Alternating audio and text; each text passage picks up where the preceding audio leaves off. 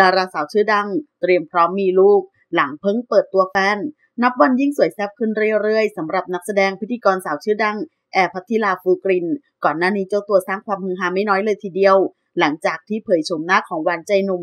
ชื่อว่าไอซ์ครั้งแรกผ่านทางโซเชียลงานนี้ทำเอาหนุ่มๆที่แอบปลื้มเธออกหักกันเพียบเลยทีเดียว เสียดายมากๆ มีคนครองใจซะแล้ว แถมยังหล่อเหมาะสมกับสาวแอร์สุดๆ ถูกใจเพื่อนและแฟนคลับหนักมาก ล่าสุดหลังจากที่สาวแอร์เพิ่งเปิดตัวหวานใจ เจ้าตัวก็ได้ออกมาโพสต์ภาพฝากไข่เตรียมพร้อมมีลูกพร้อมระบุข้อความว่า เรื่องอื่นรอรุนได้ แต่เรื่องเตรียมความพร้อมจะมีลูกรอไม่ได้จริง ๆ ก่อนมาเลยไปฝากไข่ที่ Superior ART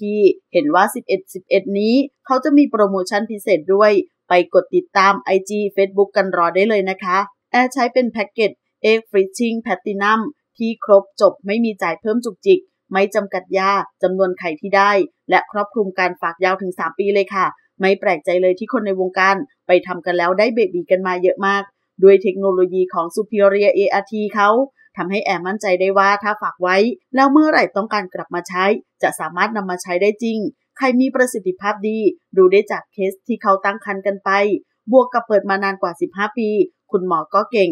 พี่ๆน่ารักทุกคน ไม่เฉพาะแค่เรื่องรักษามีบุตรยากเท่านั้น เห็นว่าที่นี่คุณหมอดัง เรื่องคัดกรองเด็กปลอดโรคทางพันธุกรรม เช่นโรคกล้ามเนื้ออ่อนแรง ก็สำเร็จเป็นครั้งแรกของประเทศไทยอีกด้วยค่ะท่ามกลางเพื่อนพ้องในวงการบันเทิงแห่ยินดีเพียบเลย แอบมีลุ้นอยู่นะว่าเนี่ยสาวแอร์จะมีข่าวดีกับหวานใจหนุ่มคนนี้ ยังไงก็ต้องรอติดตามกันต่อไปนะคะ ขอขอบคุณข้อมูลจากขอบข่าวขอบคุณค่ะ